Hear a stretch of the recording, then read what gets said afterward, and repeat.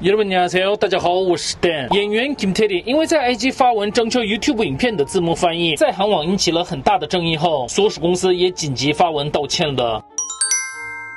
五月二十二号，Kim Tae 在 IG 上的发文，简单整理一下就是：考虑到有世界各国的粉丝们，所以决定募集可以帮忙上字幕的粉丝，并且说了这是才能捐赠，就是没有任何费用。这个贴文曝光后，马上就在韩网引起了争议。可可可可，超好笑，因为太傻眼，除了笑说不出别的。不是，这真的是本人的意见吗？真的是无法理解。你也不要拿出演费免费的演技吧，把别人的劳动力想成什么呢？把粉丝们无条件的关爱当成是免费劳动的人，真的是没有被爱的资格。然后也是有。手术这样的留言，只是没有考虑那么多，轻松的为了粉丝们发的文，需要引起到这样的争议吗？而因为风向真的是非常不好，Kim Tae 下架了 A G，所属公司也发文道歉了。Kogiga Yoginga 系列所有影片，包括广告在内都没有开盈利。Kim Tae 演员从开始拍摄 Kogiga Yoginga 到现在新增英文字幕，都只是为了粉丝们的心意。关于征求多种语言的字幕翻译，也是希望让更多海外粉丝们能够观赏影片。此外，我们也不希望 Kogiga Yoginga 制作过程中有任何人的心意被不当利用。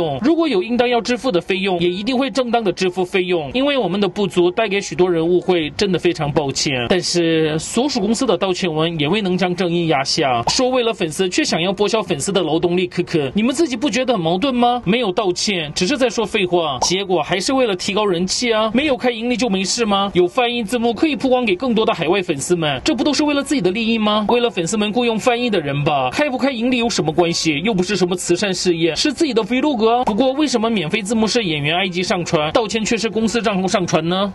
对于 Kim Tae 的 IG 发文以及所属公司的声明，大家觉得怎么样呢？